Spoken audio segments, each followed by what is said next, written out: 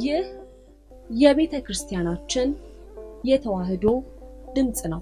ውድ ተመልካቾቻችን የፍኖተ አብርሃም የብዙኃን በጎ አድራጎት ማህበር መስራችና የበላይ ኃላፊ በሆኑት በሊቀ ትጉሃን መምህር ገብረ መስቀል ኃይለ መስቀል እየተዘጋጀ በናሁ ቴሌቪዥን በየሳምንቱ እሁድ ማታ ከ3 ሰዓት እስከ 3 ሰዓት ከ30 እንዲሁም በድጋሚ ሰኞ ጠዋት ከ12 ሰዓት እስከ 12 ሰዓት ከ30 አውደ ስብከት የተሰኘው መርሃ ግብር ይቀርባል። ለህይወቱ እንዲጠቀሙበት በታላቅ አክብሮት ተጋብዘዋል። ተከታተሉን። በስመ አብ ወወልድ ወመንፈስ ቅዱስ አሐዱ አምላክ አሜን።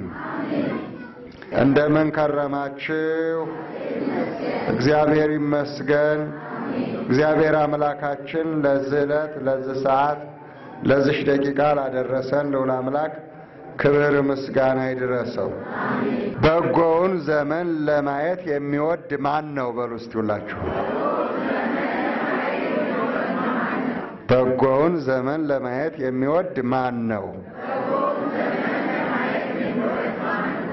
መዝሙር 33 በቅንፍ 34 ቁጥር 11 ላይ ይህንን ኃይለ ቃል እናገኘዋለን ማለት ነው።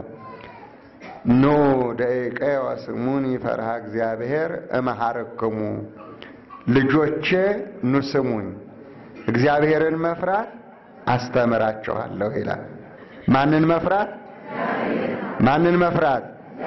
እግዚአብሔርን መፍራት አስተምራችኋለሁ። ከሁሉ በፊት ቀዳሚ ያለ ጥበብ ፈርሃ እግዚአብሔር ነው። የጥበብ መጀመሪያው ማን ነው? እግዚአብሔርን መፍራት ነው። ማንም ሀብት ቢኖረው ንብረት ቢኖረው ገንዘብ ቢኖረው እውቀት ቢኖረው ምንም ቢሆን ማንን ይፍራ? እግዚአብሔርን። ምክንያቱም ከገንዘቡ በላይ ማን ነው? ከእውቀቱ በላይ ማን ነው? ከጉልበቱ በላይ ማን ነው? እግዚአብሔር ነው። ጉልበትም ያለው ሀብትም ያለው እውቀትም ያለው ምንም አይነት ችሎታ አይኑረው ከበላዩ ማን አለ? ፈጣሪው እግዚአብሔር አለ። ስለዚህ ማንም ሰው እግዚአብሔርን መፍራት ነው። ጥበበኛ ማለት፣ አዋቂ ማለት፣ ጨዋ ማለት፣ ደግ ማለት እግዚአብሔርን ሲያውቅ ብቻ ነው። ካላወቀው ደግሞ አይፈራው አይደለም። እግዚአብሔርን ያላወቀ እግዚአብሔርን ይፈራል? እግዚአብሔርን ያላወቀ እግዚአብሔርን ያከብራል? አያከብርም፣ አያውቀውምና ስለዚህ ኃይሉን ሲያውቀውን ጥበቡን ሲያውቀውን ኃያልነቱን ሲረዳ ነው ማንነቱን ሲረዳ ነው እግዚአብሔርን የሚያከብረው። እሱ ፈጣሪዬ ነው፣ እሱም አዳኜ ነው፣ እሱ ሕይወቴ ነው። ስለዚህ መሬ አባቴ፣ እናቴ፣ ሕይወቴ እርሱ ነው ሲል እግዚአብሔርን መፍራት ይቻላል። ለዚህ ነው እንግዲህ እግዚአብሔርን የሚፈራ ሰው እድሜው ስለሚረዝም ደጉን ዘመን ያያል። አይደለም? እግዚአብሔርን የፈሩ እድሜያቸው ረዥም ነው። አይደለም? አዎ፣ እግዚአብሔርን ፈርተዋል፣ እግዚአብሔርን አክብረዋል፣ እግዚአብሔርን ወደዋል፣ በመንገዱም ሄደዋል፣ ሕይወታቸውንም አግኝተው እድሜያቸውን እስቲጠግቡ ድረስ አዎ፣ ረጃጅም እድሜ አግኝተዋል። እግዚአብሔር የተመሰገነ ይሁን። በኦሪት ዘፍጥረት ምዕራፍ አምስት እንደምንመለከተው ትልቁን እድሜ እግዚአብሔርን የሚፈራው ማቱሳላ ዘጠኝ መቶ ስልሳ ዘጠኝ ዓመት ኖሯል። ከዛ በፊት የነበሩት ሁሉ በእግዚአብሔር ላይ እውቀት አልነበራቸው። በእግዚአብሔር ስም ስለተጠራ አባቱም ጻድቅ ስለሆነ የእሱ ቤተሰብ እግዚአብሔርን ማክበር ስለጀመሩ የማቱሳላ ዕድሜ ስንት ሆነ? ስንት ሆነ? ዘጠኝ መቶ ስልሳ ዘጠኝ ዓመት። ስለዚህ ነው አሁ ዛሬ ሁሉ ሰው የማቱሳላ ዕድሜ ይስጥህ ይላል። አይደለም? ረጅም ስለሆነ ደግ ስለሆነ አዋቂ ስለሆነ እግዚአብሔር የተመሰገነ ስለዚህ እንደ እግዚአብሔር ፈቃድና እንደ እግዚአብሔር ቸርነት አዎ እግዚአብሔርን ስትፈሩት እሱ ደግሞ ያከብራችኋል። እሱ ደግሞ ከፍ ያደርጋችኋል። እርሱ ደግሞ ስትጠሩት ይሰማችኋል። አዎ እግዚአብሔር ይላል እግዚአብሔር ዓይኖቹ ወደ ጻድቃን ናቸው ይላል። ጆሮቹም ወደ ጩኸታቸው ናቸው ይላል። ጸርሁ ጻድቃን እግዚአብሔር ሰሞሙ ጻድቃን ጮሁ እግዚአብሔር ሰማቸው። ስለዚህ እግዚአብሔር ይሰማል ማለት ነው። ጻድቃንን ይሰማል ማለት ነው። ጻድቃንን ያያል ማለት ነው። እግዚአብሔር ይርዳን። እድሜያችን እንዲረዝም በጎውን ዘመን እንድናይ በጎው ዘመን ሌላው አራት ነገሮች አሉ። በጎ ዘመኑን ለማየት የሚወድ ሊያደርጋቸው የሚገባ አራት ነገሮች አሉ። አንድ ሁለት ብዬ ነግራቸዋለሁ። አንደኛው ልበ አምላክ ዳዊት በዚህ ምዕራፍ ላይ አሁን በነገርኳችሁ ምዕራፍ ላይ የጻፈውን ነው። አንደኛው አንደበትህን ከክፉ ከልክል። እስቲ በሉ እስቲ በሉ ሁላችሁም። አዎ አንደበትህን ከክፉ ከልክል። ምን እንድታይ አዎ በጎ ዘመኑን እንድታይ አንደበትን ከክፉ ከልክል። በመጽሐፈ ምሳሌ ምዕራፍ 18 ቁጥር 21 ላይ ስትመለከቱ እንዲህ ይላል፣ ሞትና ሕይወት በመላስህ እጅ ናቸው ይላል። እስቲ በሉ አዎ ሞት በምን ላይ አለ? በምላስ ላይ። ሕይወት በምን ላይ አለ? በምላስ ላይ። ልብ በሉ። አሁን በምላሳችሁ ብታመሰግኑ ሕይወት አለ በምላሳችሁ ላይ። እግዚአብሔር አመስግኑኝ ነው ያለው። ብታመሰግኑት፣ ብትመርቁበት፣ ብትባርኩበት፣ ብትጠሩበት እግዚአብሔርን ሕይወት አለ በመላሳችሁ ላይ።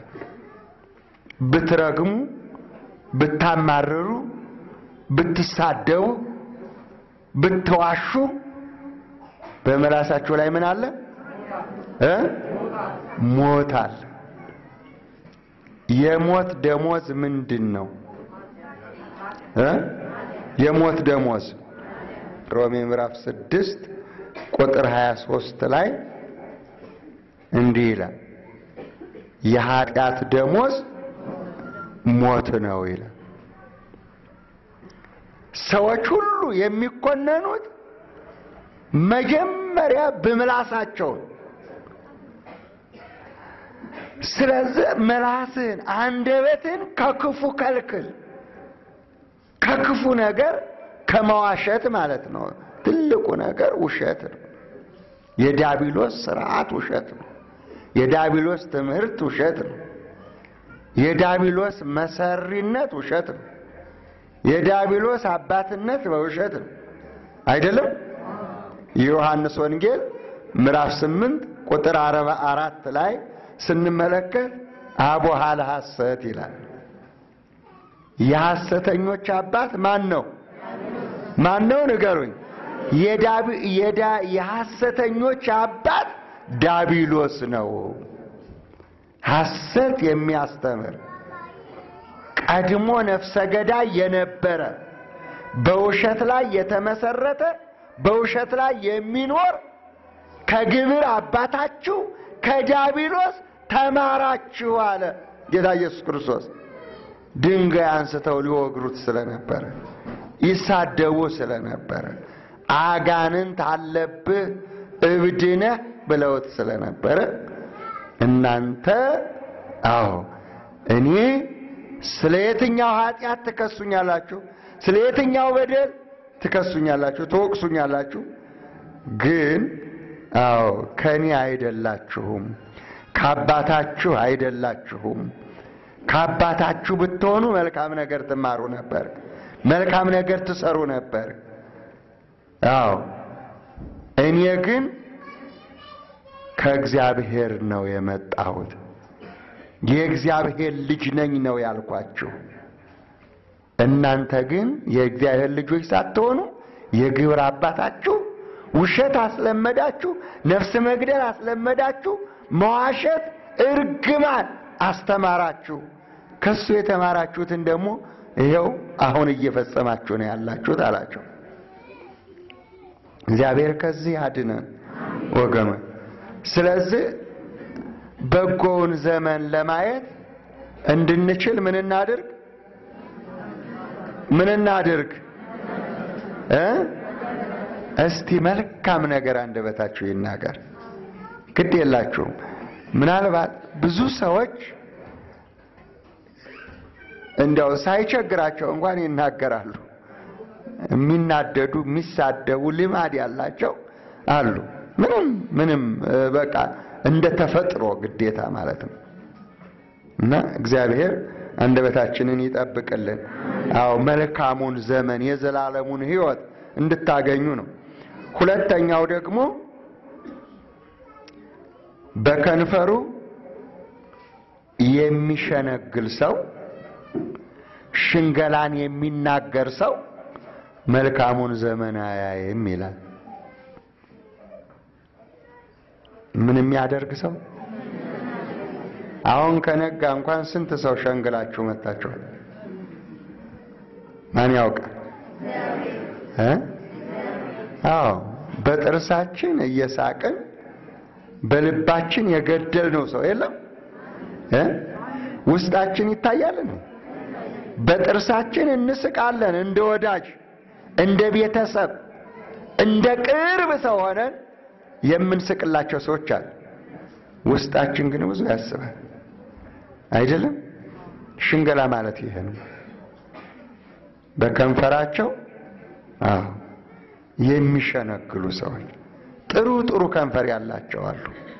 ጥሩ ከንፈር ያላቸው ልባቸው ግን ጩቤ የሚያርድ ነው፣ የሚገል ነው።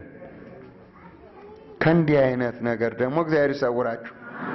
አዎ እግዚአብሔር ልቡ ንጹሕ ያልሆነ ሰው የሚያስበው ነገር ሁሉ በልቡ ውስጥ ነው ውስጥ ነው ያለው።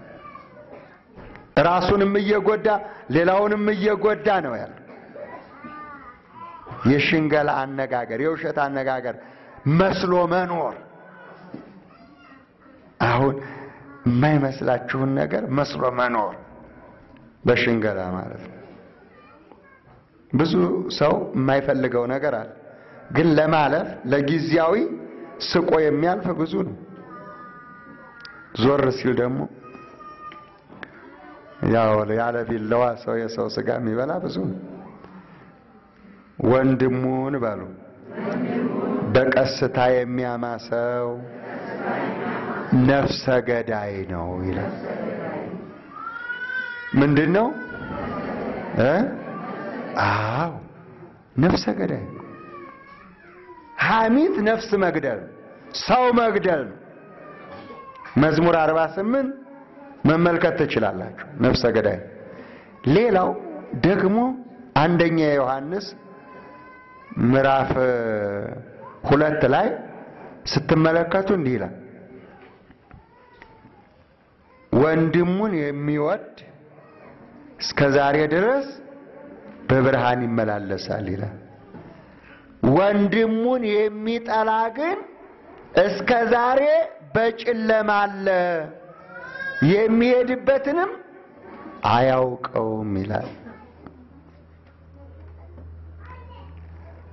ስለዚህ ምናልባት ጥይት ተኩሶ ወይ ድንጋይ ወርውሮ ወይ በተለያየ ነገር ብቻ እንዳይመስላችሁ ሰው የሚገደለው በመላስ የገደልነው ብዙ አለ።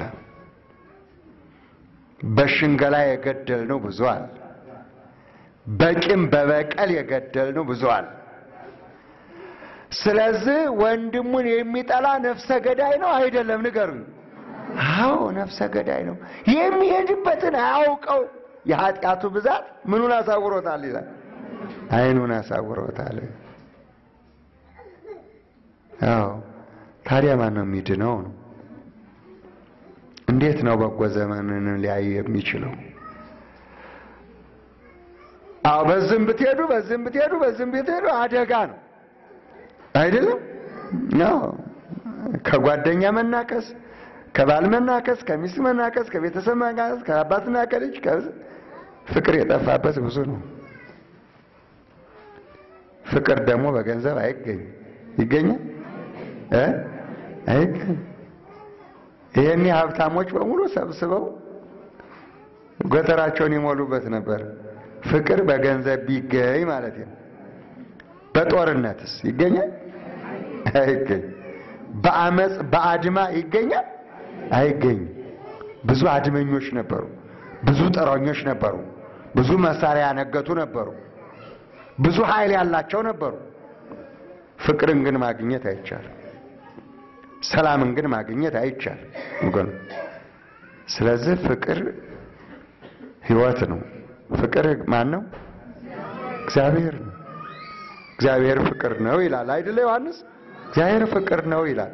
ስለዚህ በከንፈራቸው የሚሸነግሉ ሰዎች፣ በከንፈራቸው የሰውን ስጋ የሚበሉ ሰዎች፣ ሐሚተኞች ሰዎች የእግዚአብሔርን መንግሥት ለመውረስ አይችሉምና ከዚህ የሚያመልጡ ከዚህ የሸሹ ሰዎች ብፁዓን ናቸው፣ ምስጉኖች ናቸው። አንደበታቸው ጾሟል፣ ምላሳቸው ጾሟል። ከሁሉ ጾም ወተትና ስጋ ከዚህ ጾም በኋላ ነው። ወተትና ስጋ እየጾመ የሰው ስጋ ቢበላ ይሆናል እ የሰው ስጋ ይበላል? የሰው ደም ይጠጣል? ይፈቀዳል ወይ ንገሩኝ። ትላንት ስለ ፈቃድና ስላልተፈቀደ ነገር ተምረናል። ነገር ግን ማንም ሰው ወተትና ስጋው የተፈቀደለት ነው እንዲበላው እንዲጠጣው። የሰው ስጋ ግን የሰው ደም ግን እንዳትነካ ብሎ እግዚአብሔር የከለከለው እርም ነው። እንዳትበላ ስጋውን ደሙን እንዳትጠጣ ተብሎ የተከለከለውን በቀስታ ያማል። ይበላል፣ ስጋውን ደሙን ይጠጣዋል፣ ሸነግለዋል።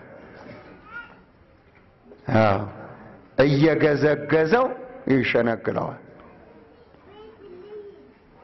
ወገኖች በሐሜት የሚጸድቅ ሰው አለ እ በሐሜት የሚኮነን ሰው አለ? እ? አለ?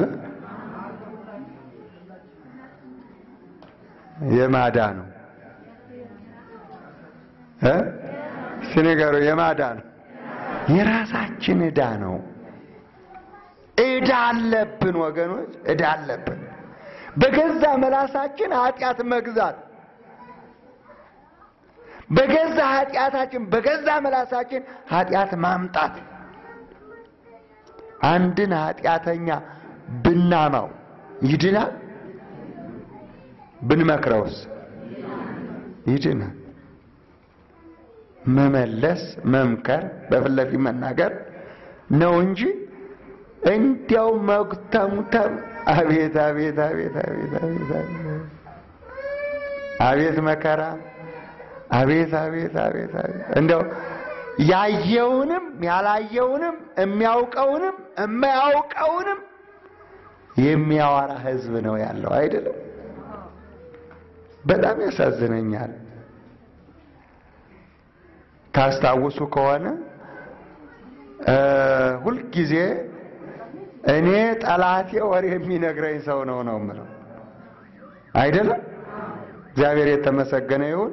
ጆሮዬ ክፉ ነገር አይሰማም፣ ዓይኖቼም ክፉ ነገር አያየውም። ስለዚህ ከመስማት ከማየት ርቄ ነው የምኖረው። ለእኔ መጥቶ ወሬ የሚነግረኝ ሰው የለም። ወጣው መኪና ከመኪና የገባው ቤቴ ጸሎት ወይ ሰው ማነጋገር ወይ ጉባኤ ማስተማር። ስለዚህ እኔ ቁጭ ብዬ ከሰው ጋራ ከሊትና ከሌ ከእንደዚህ ብዬ አውርቼ አላውቅም። ለምን የሚያወራልኝ የለም። ወደ እኔ ጋር የሚመጣ ሰው ስለሌለ ግን ከካህናት ጀምሮ እስከ ምዕመናን ድረስ ከውስጥ ጀምሮ እስከ ውጭ ከውጭ ጀምሮ እስከ ውስጥ ድረስ ሰው ስለታማ ዋጋው ከፍ ይላል አይደለም? ታላቅ እኮ ይሆንለት በእውነት ጻድቅ ሰው ጻድቅ ሰው ስለ ኃጢአተኛ ሰው ነው የሚጸለየው። ታውቃላችሁ እ የኃጢአተኞችን ኃጢአት ይሸፉናል። ከሌ እንዲህ ነው፣ ከሌ እንዲህ ናት፣ ከሌ እንዲህ ወደ እግዚአብሔር ይጸለያሉ እንጂ ኃጢአታቸውን አያወጡ። ክርስቶስም አላወጣ አይደለም አይደለም። በዮሐንስ ወንጌል ምዕራፍ ስምንት ላይ ስንመለከት ያቺ ሴት ዘማዊ ናት፣ ታስራ መጣች። ወደ እሷ መጡት፣ እነሱ ያውቃሉ። ጌታ ግን ወደ ምድር ጻፈ ኃጢአቷን እና የሰዎቹንም ኃጢአት ጻፈና ከእናንተ ኃጢአት የሌለበት ሰው መጀመሪያ በድንጋይ ይምታት አላቸው። ሁሉም ራሱን ሲፈትሽ ለካ ብዙ ነው ያለው ጉድ። አሁን እንዲህ ያለ ሰው አለ? እስቲ እንዲህ በሉ፣ እንዲህ በሉ እስቲ። የትኛው ጣት ነው ወደ ሌሎቹ የጠቆመው? አንዱ ነው። ሶስቱስ በስንት ምስክር ይጸናል? አያችሁ፣ እናንተ ላይ ሶስት ምስክር አለባችሁ። ሌላው ላይ ግን አንድ ጣታችሁን ነው እየተቀሰራችሁ ያላችሁ። ራሳችሁ ምስክር አያስፈልጋችሁም። ራሳችሁ ይሄ ሶስት ጣታችሁ እናንተን እያመለከታችሁ ነው። ውስጣችሁን እየተናገረ ነው እግዚአብሔር። ሌላው ላይ ግን አንድ ምስክር ደግሞ አይጸናም። ለሌላው አንድ ጣታችሁን ነው የጠቆማችሁት፣ ወደዛ ያስተላለፋችሁ። ይሄ ነበር ያቺ ሴት ስትመለከት በጣም ብዙ ድንጋይ የያዙ ቋጥኝ ቋጥኝ የሚያክል ድንጋይ ተሸክመው ከኋላዋ ከበዋት ነበር። አንዱ ጭንቅላቷን ሊል ነበር የፈለገው፣ አንዱ ደረቷን ሊል ነበር የፈለገው። ከእናንተ ምን የሌለበት ምን የሌለበት እስቲ ኃጢአት የለብኝም ብላችሁ ነው ወይ ሰው የምትበሉ? ከንፈሮቻችሁ የሰው ስጋ የሚበሉት ኃጢአት የለብኝም የሚል አለ እዚህ ውስጥ አሁን አለ። እስቲ ባካችሁ የሰው ስም በምታነሱበት ጊዜ፣ ስለ ሰው በምታዋሩበት ጊዜ አይታችሁም ሆነ ሳታዩ እንደዛ በሚባልበት ጊዜ እኔስ ማን ነኝ ለምን አትሉ? በማየት ነው፣ በመስማት ነው፣ በማሰብ ነው። አዎ በመስራት በምን በማንኛው ይስታችኋል ወገኖች። እንዴ በማየት ኃጢአት የለም እንዴ? በመስማት ኃጢአት የለም እንዴ? በመናገር ኃጢአት የለም እንዴ? በማሰብ ኃጢአት የለም እንዴ? ሀሌዎ ገብር የምንለው እኮ ሀሳብ እኮ ነው። ሀሳብ በሀሳብ የሚሰራ ኃጢአት እኮ ስለዚህ እነኚህ ሰዎች አዎ ኃጢአተኞች ነን አሉ። ስላሉ ዳኑ አልዳኑ? ሁሉም ሄዱ። ለምን? ኃጢአታቸውን አውቀዋል። መጨረሻ ብቻዋን ስትቀር አንቺ ሴት የፈረደብሽ የለም አላት። ምን አላት? ምን አላት? የፈረደብሽ ኃጢአት የለብኝም ብሎ ድንጋይ የጣለብሽ ሰው የለም አላት። የለም ማለት እኔም አልፈርድብሽም ወደ ቤትሽ ሂጂ። ክብር ምስጋና ለእግዚአብሔር። እስቲ እልል በሉና እግዚአብሔርን አመስግኑት። በእውነት እግዚአብሔር ይመስገን። እንዲህ አይነት ቸር አባት ነው ያለን። እኔ አልፈርድብሽም፣ በሰላም ወደ ቤትሽ ሂጂ። በቃ ይቅር ብዬሻለሁ። ማሪ እኮ ነው እግዚአብሔር፣ ይቅር ባይ እኮ ነው እግዚአብሔር። እኔና እናንተ ግን ክፉ ነን። በእውነት ከሰው በጎ ነገር ከየት ይገኛል? ብዙ ሰዎች ተሰናክለዋል በወሬ ምክንያት። ዳታና አቢሮን መሬት ተከፍታ እንድትወጣቸው ያደረገ ምንድን ነው? ወሬ አይደለም እንዴ? አይደለም ወይ ንገሩኝ። በሙሴ ላይ እኮ ማጉረምረም፣ ወሬና አድማ የሰሩት ሰዎች ናቸው። ምድር ተከፍታ ያወጠቻቸው የከንፈሮቻችሁ ሽንገላ፣ የከንፈሮቻችሁ ሐሜት ስድብ፣ አዎ። ከጀርባ እየወጋችሁ ከፊት ለፊት የምትስቁ አቤት ዕዳችሁ አቤት ዕዳችሁ። ኋላም እንዲሁ ነው ወገኔ በእናንተ ላይ። እባቡ ዘንዶ እረፍት የሌለው እሳቱ ሲያቃጥል ትሉ ሲያላምጥ አቤት በዚያን ጊዜ ጥርስ ማፋጨት ይሆናል፣ መከራ ይሆናል፣ ለቅሶ ይሆናል። ማን ያድናል? ማንም ወገን አባት ልጁን፣ ልጅ አባቱን፣ እህት ወንድሙን፣ ወንድም እህቱን አያድንም አላለም? ማን ያድናል ወገን? ስለዚህ አንደበትህን ከክፉ ከልክል አንዱ ነው።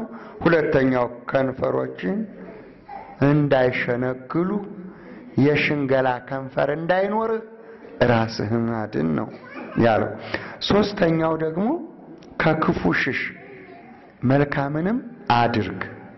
እስቲ በሉ ሶስተኛው ምን ለማግኘት በጎውን ዘመን ለማየት ምን ምን አድርግ? አሁን ሶስተኛው ምንድን ነው? ከክፉ ሽሽ እ መልካምንም አድርግ። ክፉ ምንድን ነው? እስቲ መጀመሪያ አንዱን ንገሩኝ። እስቲ ክፉ የምንለው መጀመሪያ ክፉ ማን ነው? እ አዎ እውነት ነው። ክፉ ማለት ዳቢሎስ ነው። ክፉ ማለት ሰይጣን ነው። ክፉ ማለት አጋንንት ነው። ከሱ ስራና ከሱ ውሸት መለየት ነው ክፉ መሸሽ ማለት። ደም የሚያፋስስ ማን ነው? ዝሙት የሚያሰራ ማን ነው? ነፍስ የሚያስገድል ማን ነው? የሚያሰርቅ ማን ነው? የሚያስዋሽ ማን ነው? ዳቢሎስ። ከዳቢሎስ መሸሽ ከዳቢሎስ መሸሽ። አዎ ያን ጊዜ ነፃ ትሆናላችሁ። ከክፉ ሽሽ። ጣዖት ማምለክ ነው ክፉ። ገንዘብ መውደድ ነው ክፉ። ዘማዊነት ነው ክፉ። ከዚህ ከክፉ ሽሽ። በጎውን ዘመን ታያለህ። መንግሥተ ሰማያት ትወርሳለህ። መንግሥተ ሰማያት ትወርሻለሽ፣ ትገቢያለሽ። በጎ ዘመን ማለት ረሃብ የሌለበት፣ ጦርነት የሌለበት፣ ሽንገላ የሌለበት፣ ፍቅር የሞላበት፣ ረሃብ የሌለበት፣ ስደት የሌለበት፣ ጉቦኛ የሌለበት ነፍሰ ገዳይ ሽፍታ ወንበዴ የሌለበት በጎ ዘመን ይባላል። አይደለም አይደለም ወይ ንገሩ? አዎ። ስለዚህ ሁለተኛው ደግሞ በጎ ዘመን ማለት ከሞት በኋላ በሕይወት ስንኖር የእግዚአብሔርን መንግሥት ወርሰን መኖር ነው። በጎ ዘመን ለዘላለም ሕያው ሆኖ መኖር የሐዋርያት ሥራ ምዕራፍ 13 ቁጥር 36 ላይ እንዲህ የሚል ቃል እናገኛለን። በራሱ ዘመን የእግዚአብሔርን ሐሳብ አገልግሎ ዳዊት አንቀላፋ ይላል። በማዘመን በማዘመን በራሱ ዘመን ልብ በሉ። አሁን ለእናንተ ዘመን ተሰጥቷችኋል አልተሰጣችሁም? አዎ በራሱ ዘመን በተሰጠው ዘመን ይላል። በራሱ ዘመን በተሰጠው ዘመን የእግዚአብሔርን ሐሳብ በማገልገል አንቀላፋ። ማን ነው እሱ? ንጉሥ ዳዊት፣ ነቢዩ ዳዊት በራሱ ዘመን በራሳችሁ ዘመን ስራ ሰርታችሁበት መሄድ ያስፈልጋል። ዘመኑ ሰርቶባችሁ ሳይሆን እናንተ በዘመናችሁ ሰርታችሁበት። ታዲያ ዳዊት ታድሏል አልታደለም? ንገሩኝ። ማንቀላፋት ይቀራል አይቀርም? የማንን ሐሳብ አገለገለ ዳዊት? የእግዚአብሔርን ሐሳብ። እንደ ልቤ የተባለው ሰው ዳዊት ነው። እንደ ልቡ የሆነውን ሰው እግዚአብሔር አዘጋጀ፣ እንደ ልቡም ሆነለት። ስለዚህ ንጉሥ ዳዊት እንደ እግዚአብሔር ሐሳብ አገለገለ፣ ሰርቶበት አገልግሎበት በዘመኑ ምን ሆነ? አንቀላፋ። ከማንቀላፋታችሁ በፊት ከመተኛታችሁ በፊት እንደ እግዚአብሔር ሐሳብ ልትኖሩ ያስፈልጋል። እንደ ሐሳብ እ አዎ እዛ ኤርምያስ ላይ እንዲህ ይላል፣ ሐሳባችሁና ሐሳቤ ስላልተገናኘ እንደ ገዛ ሐሳባችሁ ሄዳችኋል ይላል እግዚአብሔር። እንደ ገዛ ሐሳቡ የሚኖር ደግሞ ይጠፋል። አይደለም ወገኑ? እንደ እግዚአብሔር ሐሳብ የሚኖር ግን በገዛ ዘመኑ አገልግሎ ዳዊት አንቀላፋ። አዎ ምንም ኃጢአት ቢሰራ እግዚአብሔር ይቅር ብሎታል። ምንም ቢያጠፋ ዳዊት እንባህን አይቻለሁ፣ ጩኸትን ሰምቻለሁ፣ ይቅር ብያለሁ ብሎታል። ክብር ምስጋና ለመድኃኔዓለም ይሁን። እስቲ እግዚአብሔር። እግዚአብሔር የተመሰገነ ዳዊት ስለተጸጸተ ነው። በባዶ እግሩ ሄደ ይላል። በባዶ እግሩ ሄደ፣ ከዙፋን ወረደ፣ ራሱንም ተከናነበ። ሰባት ቀን እህል ሳይበላ ውሃ ሳይጠጣ ምድሯን እስኪያረሳት ድረስ አለቀሰ ይላል። ሰው በኃጢአቱ ሲጸጸት ይድናል ወገኖች። ስለዚህ እንደ እግዚአብሔር ሐሳብ ብንኖር እንጠቀማለን። አንጠቀምም? አዎ ዚህ ከክፉ ሽሽ መልካሙንም አድርግ። መልካም ምንድን ነው? እስቲ ንገሩኝ። አንድ አንድ አንድ እንደቀደም መልካም ማን ነው? እንደ እግዚአብሔር መልካም አለ ወይ? ንገሩኝ መልካምንም አድርግ ማለት እግዚአብሔርን ተከተል ማለት ነው። መልካም አድራጊው ከፊት ከቀደመ መልካም የሚደረግለት ምን ይሁን ከኋላ ይከተል ማለት ነው። መልካም አድራጊው ማን ነው? መልካም ሰሪው ማን ነው? መልካም ማን ነው? እግዚአብሔር። መልካም የተደረገለትስ ማን ነው? ሰው። አዎ መልካም የተደረገልን እኔና እናንተ ነን። እልል በሉና እግዚአብሔርን አመስግኑ። መልካም የተደረገልን እንዴ!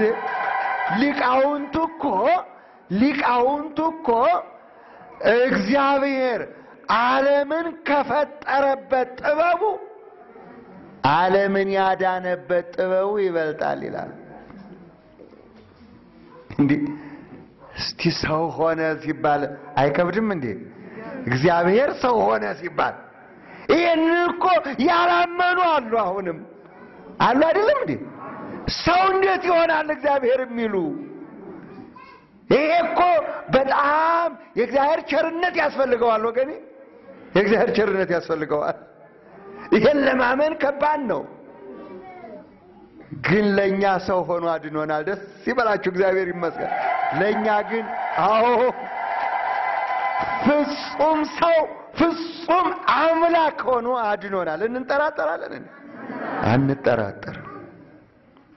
ለዚህ ነው መልካም ነው እግዚአብሔር አንደኛ ልጁን እስኪሰጥ ድረስ ዓለሙን እንዲሁ ወደደው ይላል።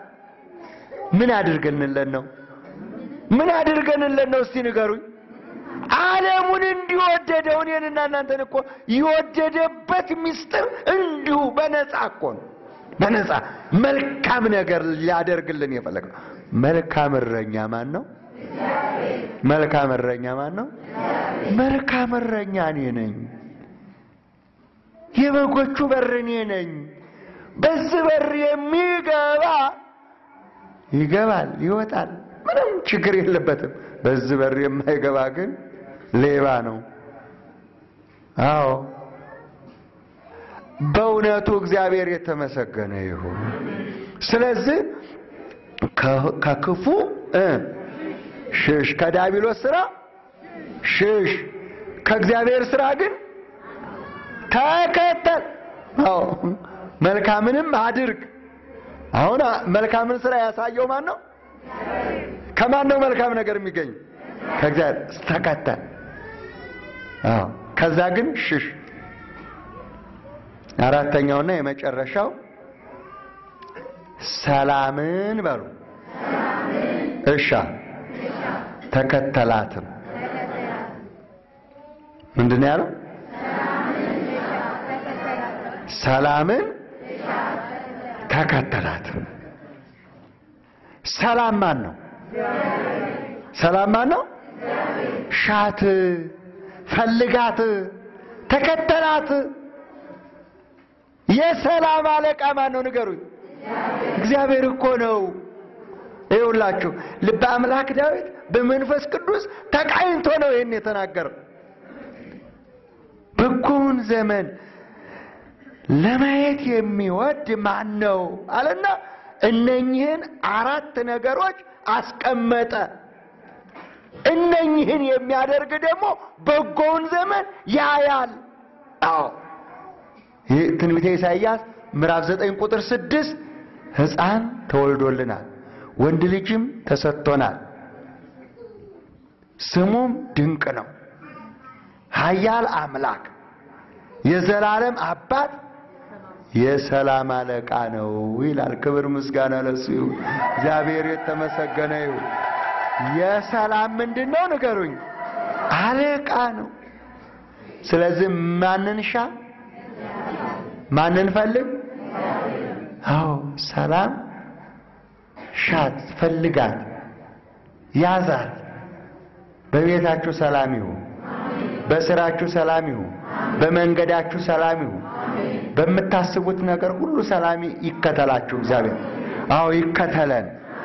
ስለዚህ ሰላምን ያዝ።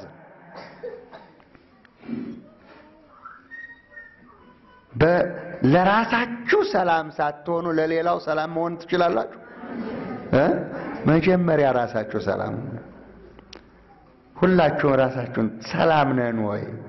ሰላም ነኝ ወይ? አንደበቴ፣ እጄ፣ እግሬ፣ ሰውነቴ፣ ሕይወቴ ክርስትና ሃይማኖት በሚያዘው መንገድ ሄጃለሁ ወይ? እኔ ማን ነኝ?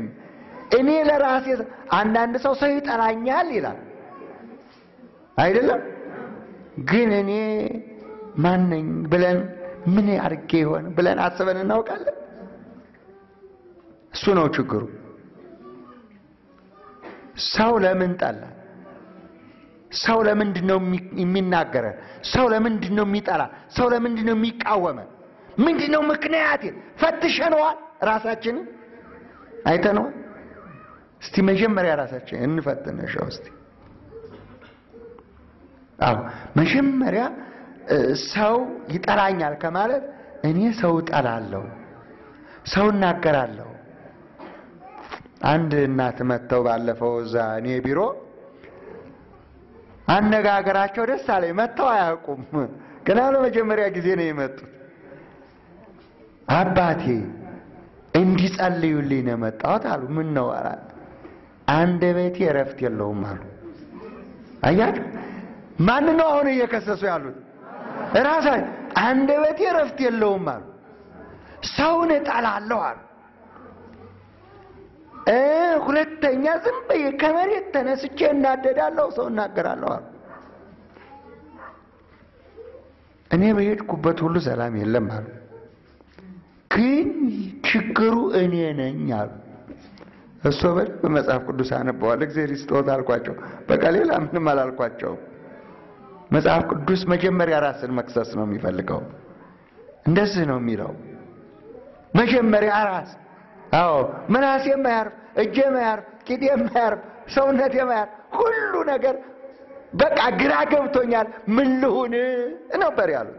በቃ ሰው ራሱን ሲያይ በመጀመሪያ ራሱን ሲያይ ለጎረቤት ሰላም ይሆናል፣ ለቤተሰብ ሰላም ይሆናል። አዎ አንድ ሚስት ባሌ ይጠላኛል፣ ባሌ ይናገረኛል፣ ባሌ እንዲህ ያደርገኛል፣ ባሌ እንዲህ ይበድለኛል። እንዲህ መጀመሪያ እሷ ምን ታደርጋለች? ለባሏ ምንድን ነው የምታደርገው? ለባሏ ሰላም ነች ወይ? ለባሏ ጣፋጭ ነች ወይ? ስለዚህ ባልና ሚስት መጀመሪያ ሚስቴ እንዲህ ናት፣ ባሌ እንዲህ ነው ከማለት መጀመሪያ ሚስት ራሷን ማየት፣ ባልም ራሱን ማየት ከዛ ወደ ልጆች ያልፋል። ከዛ ወደ ጎረቤት ይሳል። ከዛ ወደ ሀገር፣ ወደ ሌላው ሊተላለፍ ይችላል። ሰላም ከማን ይጀምራል? ከራስ። በቃ አሁን ሰላማችሁን ፈልጓት፣ ውስጣችሁ ፈልጓት። ሰላማችሁን መርምሩት፣ ራሳችሁን እንደ ላብራቶሪ። እዛ ሐኪም ቤት ሄዳችሁ በላብራቶሪ አይደለም የምትመረመሩ አይደለም እንዴ? አዎ፣ እዛ ደሙም፣ ሰገራው፣ ሽንቱ ሁሉ ነገር ይመረመራል አይደለም? ልክ እንደዛ እስቲ ራሳችሁን ምን አለ ኩላሊት፣ ልብ ችግር አለ መመርመር ይቻላል አይቻልም? ንገር። ራሳችንን መመርመር ይቻላል አይቻልም? አዎ፣ እግዚአብሔርን ግን መመርመር አትችሉም ይላል። እግዚአብሔርን አትመራመር፣ ራስህን ግን መርምር። ምንድነው ልቤ ላይ ያለው ችግር? ምንድነው እግሬ ላይ ያለው ችግር? ምንድነው እጄ ላይ ያለው ችግር? ምንድነው አእምሮዬ ላይ ያለው ችግር? ምንድነው ያለኝ ችግር በሉና ራሳችሁን አክሙት፣ ራሳችሁን ፈትሹት። ራሳችሁን ራሳችሁ ማከም ትችላላችሁ? አችሉም? ንገሩ። ትችላላችሁ። ራሳችሁን ማከም ትችላላችሁ። ደባሉን ደግሞ መሸሽ። ሰው የሚቸገረው ደባል ሲገባበት ነው አይደለም እ በባልና ሚስት መካከል አንድ ሰው ቢተኛ ይሆናል እ ሰላም ይሆናል ወይ? ንገሩኝ። ሰላም አይሆንም። ስለዚህ ሰይጣን ገባ ማለት ነው። በባልና ሚስት መካከል ነፋስ እንኳን አይግባ። ሰው አይደለም ነፋስ። ቅዱስ ጴጥሮስ ምንድን ነው ያለው? ባልና ሚስት አይለያዩ፣ ጸሎታቸው እንዳይከለከል ይላል። ባል ከሚስቱ ከተለየ፣ ሚስት ከባሏ ከተለየች ጸሎታቸው ይከለከላል ነው የሚለው ቅዱስ ጴጥሮስ። እና እንዲህ ይላል ቅዱስ ሐዋርያው ጴጥሮስ የሐዋርያት ሥራ ምዕራፍ 3 ቁጥር 20 የሐዋርያት ሥራ ምዕራፍ 3 ቁጥር 20 ላይ እንዲህ ይላል እንግዲህ በሉ እስቲ ሁላችሁም እንግዲህ ከጌታ ፊት የመጽናናት ዘመን እንዲመጣላችሁ ኃጢአታችሁም እንዲደመሰስ ንስሐ ግቡ። ምን እንዲመጣላችሁ? የመጽናናት ዘመን እንዲመጣላችሁ እርስ በርሳችሁ ከመጠላላት እርስ በርሳችሁ ከመነካከስ ጉቦኛ፣ አስማተኛ፣ መተተኛ ምናምንቴውን ትጠሉ ዘንድ ከጌታ ፊት ምን ዘመን እንዲመጣላችሁ? የመጽናናት ዘመን። ብዙ ሰው እኮ ያዘናለ የለም? ያዘናለ በተለያየ ምክንያት ሐዘን አለ አይደለም። ከማፊት የመጽናናት ዘመን ይመጣል። እ ከእግዚአብሔር ዘንድ የመጽናናት ዘመን እንዲመጣላችሁ አዎ ንስሐ ግቡ። ንስሐ በመግባት አዎ ይዳናል። አዎ ሰላምን መፈለግ ማለት ይሄ ነው። እናንተ ሸክም የከበዳችሁ ኑ ወደ እኔ እኔ አሳርፋችኋለሁ።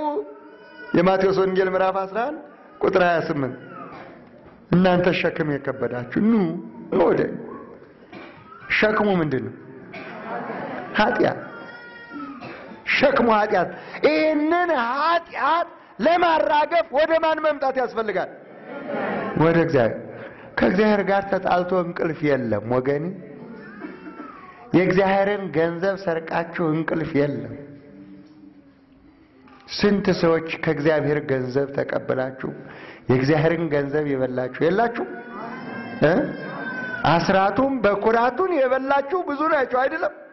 ታዲያ በረከት አጣሁ፣ ረድኤት አጣሁ፣ ተቸገርኩ፣ ገንዘብ አልበረክት አለኝ። አቤት መከራ! በየወሩ ሰላሳ ሲመጣ ደሞዝ ስትቀበሉ ይህ የእግዚአብሔር ፋንታ ነው፣ ይህ የእግዚአብሔር ነው ብላችሁ የምታስቀምጡ ስንት ናችሁ? ብላችሁ ዕዳችሁን የምትከፍሉ ስንት ናችሁ? ማን ያውቃል? እግዚአብሔር ያውቃል። ሰላም ማለት ዕዳችሁን ስትከፍሉ ነው።